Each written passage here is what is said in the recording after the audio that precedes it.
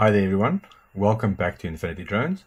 Today is going to be a nice quick little video on what to do with your V2 goggles or your goggles 2 if you've got one of those long cables that come from your battery but you've got one of these nice straps and you don't need that very long battery cable to get to your goggles.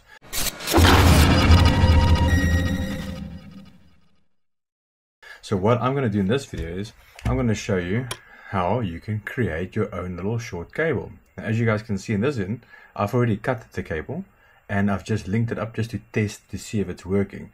So it's a pretty hack job, but when you strip the cables, you'll see that there's a red wire and there's a wire with no shielding whatsoever. So that is the two wires that go together and the other one. So all you really need to do is just either bind it and then tape it up, but I would recommend doing some solder.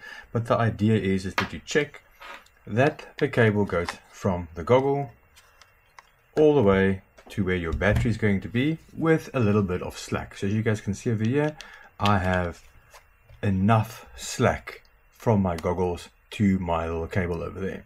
So the plan is, is to just neaten up this little cable. So I'm just going to move the goggles out the way. And you're going to see the cable over here. So let me just quickly undo the whole thing. You guys can see, I'm just going to undo it. And then just unravel it on the side as well. Now, you can unravel all you want, or you can actually leave it the way it is. So in this case, actually what I'm going to do is I'm just going to actually leave it the way it is. I'm just going to ravel it up all the way. Wrap it up all the way as well. Because if I really think about it, I can just do that and then that and then that'll be fine. But if you really want to do it properly, you'll put some um, heat shrink over it and do it properly. So let's just do it, unravel it completely. There we go. I'll get back to that in a bit. Now, when, when you strip the cables the first time, you're not going to have this problem. So just make sure when you do cut it, that you leave yourself enough little uh, room. So you don't want to cut it too short. So rather have it too long, but have it convenient. So, you know, there's nothing wrong with having it you know 10 centimeters 15 centimeters longer than it's supposed to be. But the idea is, is that you have the ability to shorten it after the fact. Remember when you cut it too short the first time there's nothing you can do the second time right? So here we go. We've got our cables. Let me just get some heat shrink and then we can continue. Okay so you've got your wires you've got your um, items that you want to use. So I'm just going to sneak this over. Let's use about half of this.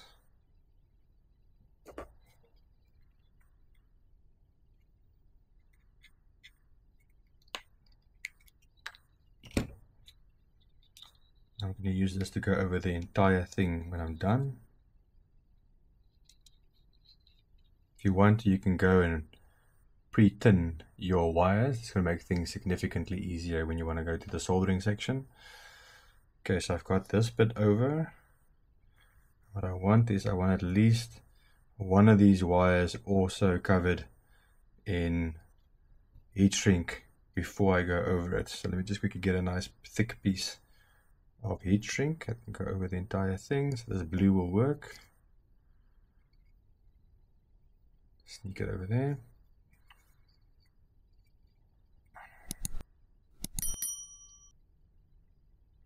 So that'll go over the joint.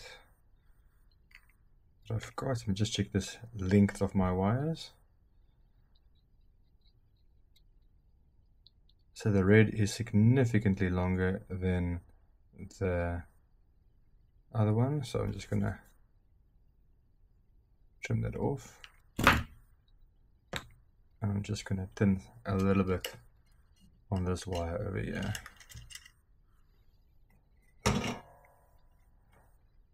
Stick it into my flux.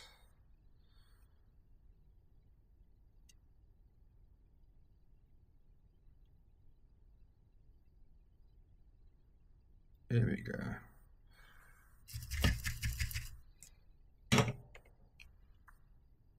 Okay, so what I want is the red wire covered in blue So about that much.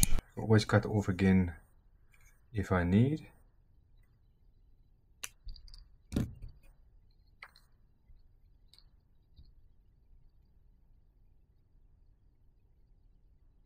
Perfect.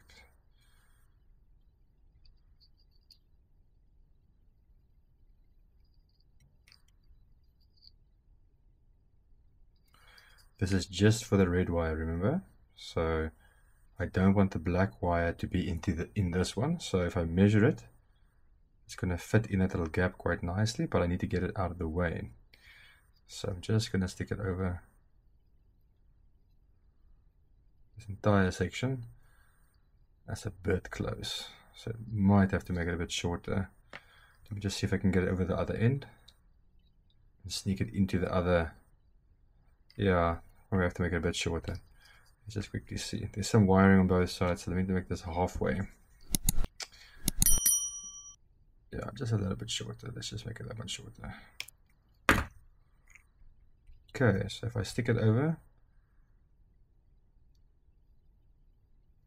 that's out the way. I can solder that little section.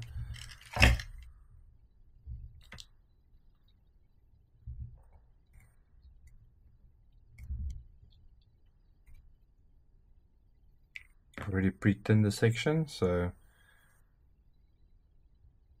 get some grip.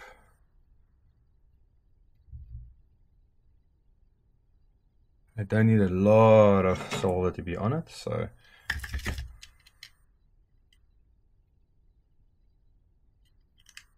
should have enough just on the tip.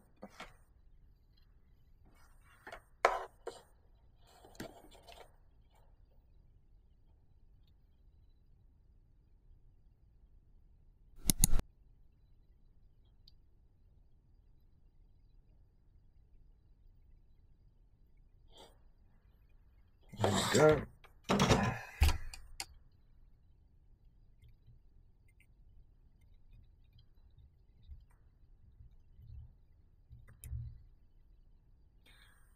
Slide that bit over so just the red sticks out the sides.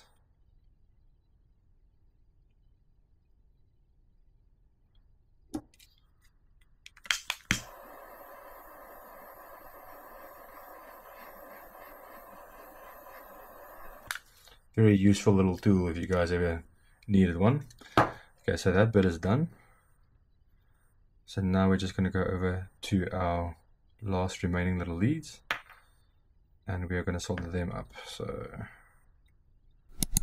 go in there, goes in there, nice and easy. Nice pre-tin already on it, so it should go nice and easy. And this one, I don't really care. They can go and have a nice little overlap because they're going to be too long anyway. So, you know, you can be a bit neater if you wanted to, but for my purposes, this is more than sufficient that I need. I'm going to have a nice little piece of heat shrink that goes over the entire thing again, so it's definitely worth it.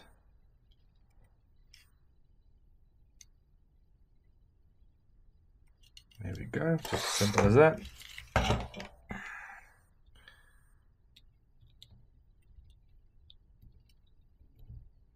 As you guys can see a nice good layer that goes over that. And then you can just sneak everything into your line that you've got here. Let me just see did I just go too short. Did I really just go too short? I did. Can you believe it?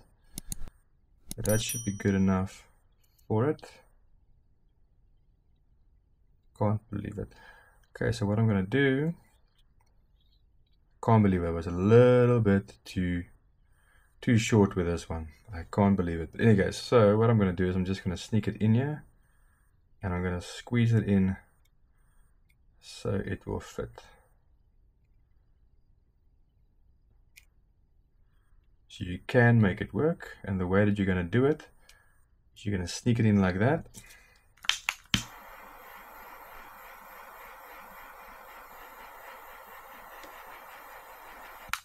That side's now gripped. I'm just going to do the same with the other side. Oh, it's still hot that side. Just give me a second.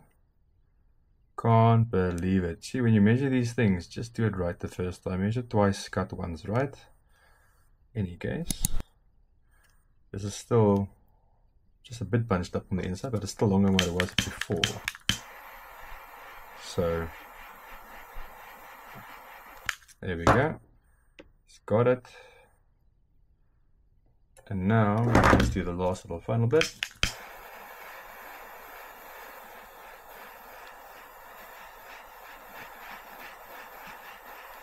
you guys can see, it could have been done better, but this is not bad. This is not bad at all. So now, just let it cool off a little bit. Get the goggles. Make some space over here.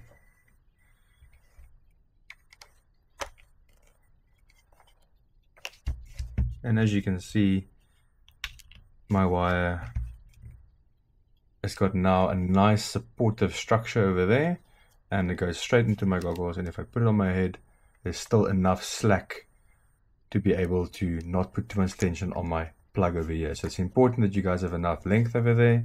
If you guys are wondering how long this connector is that I've just made now I would have wanted to make this slightly longer but I do think this is a good good link to be in so if you wanted to you can just check just get rid of that so the entire length of the cable, I'm not going to measure the connectors because that's silly. So you got your, I've got it at just under 9 centimeters. So I would probably say you should be making it at least 10 centimeters, maybe 11. But I think 10, it would be sufficient. Anyways, there we've got a nice little cable as you guys can see.